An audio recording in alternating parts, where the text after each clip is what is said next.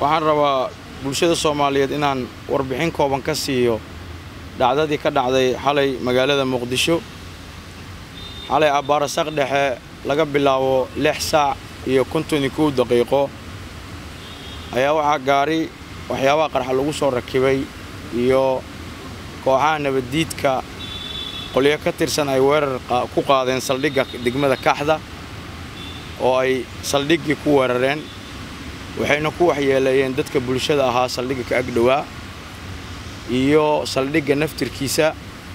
Muhiimadda degmadaas loo weerarayna waxay ahayd degmada oo warbaryaan dambe waday horumar dhanka iskaashiga ah dhismooyinka iyo waddooyinka oo inta badan bulshada soomaaliyeed ay ku bogaadisay degmadaas kaxda ah horumarka iyo dhismooyinka ay samaynayaan kooxaha nabaddiidkana waxay aad u dhibsadaan horumar iyo nabad meel laga sheegay. Waa sababtaas keliya sababta degmada kaxda loo weeraray. Waxaana ka hor tagay geesiyaasha ciidanka booliiska soomaaliyeed ee naftooda u huray difaaca bulshadooda iyo bidqabka bulshada soomaaliyeed.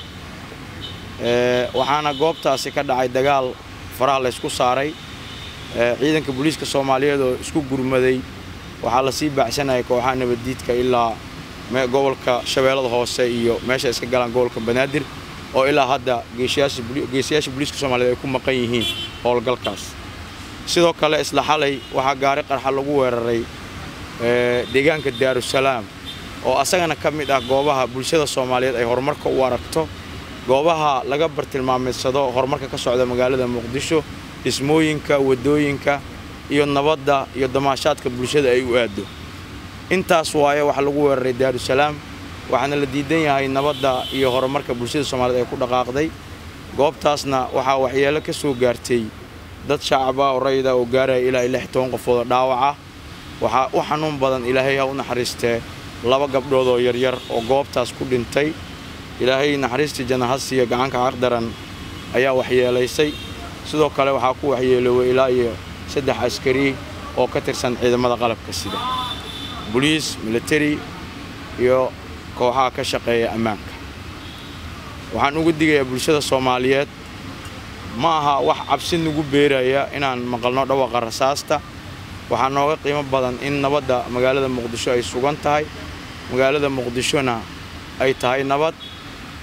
Keliya waxaa la dhibsanaya waxay tahay horumarka ay ku tilaabsatay magaalada muqdisho dhanka ammaanka dhismaha horumarka dhaqandhaqaale waa intaas waxay kooxaha nabaddiidka ka dirirayaan laakiin waxaan u ballanqaadaynaa bulshada soomaaliyeed goob kastoo ay joogaan in ciidanka booliiska soomaaliyeed marnaba ka dibcaynin iyo ciidamada qalabka sida guud ahaanba marna ka dibcaynin in dhiigga iyo naftaba loo huro ummadda soomaaliyeed.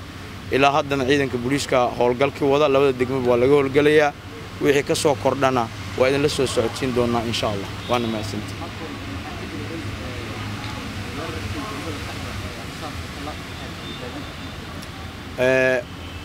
waa jiraa waa gaari xalaysan oo saldhigga dhex yaalay. Sidoo kale waxay sii dhibaateeyeen gawaari guryo ku dheggan saldhigga yaaleen oo ay bulshada soomaaliyeed lahayd.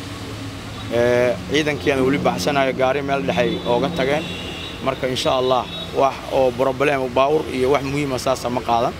Laakiin waxyeelada bulshada soomaaliyeed nooga dhib badan taasna waa ka difaacnay siday wax dhibeenna wax uma noqonin insha allah ilaahayna waxaan ka baryaynaa in intii bukootay ee meeshaas ku waxyeelooda ka bogsiyo intay dhimateen ilaahayna u naxariisto shirkadda hormuud telecom waxay macaamiisheeda u samaysay qiimiyo dhimis ballaaran xirmooyinka internetka iyo kaarka ku hadalka ee adeega anfac balaas xirmada cusub ee labaatan iyo shanta senti waxaa laga dhigay afar boqol oo m b iyo toban daqiiqo oo ku hadalka gudaha ah. Halka xirmada bointy five kana laga dhigay siddeed boqol iyo konton m b iyo soddon daqiiqo oo ku hadalka gudaha ah. Xirmada halka doolar waxaa laga dhigay laba g b oo internet data ah boqol daqiiqo oo ku hadalka gudaha ah iyo konton fariin qoraaleed. Laba doolar waxaad ku heli kartaa shan g b oo data ah laba boqol oo daqiiqo oo ku hadalka gudaha ah iyo boqol fariin qoraaleed. Shan doolar waxaad ku heli kartaa laba toban g b shan boqol oo daqiiqo oo ku hadalka gudaha ah iyo boqol iyo konton fariin qoraaleed. Toban dollar waxaad ku heli kartaa labaatan iyo sideed g b oo internet data ah kun daqiiqo oo ku hadalka gudaha ah laba daqiiqo oo dibadda ah iyo saddex boqol oo fariin qoraaleed ah. Ugu shubo e v c balaaskaaga xidig toddoba labaatan iyo afar xidig nambarka xidig lacagta afar gees ama kaarka ku hadalka xidig boqol labaatan iyo lix afar gees kadibna raac tilmaamaha.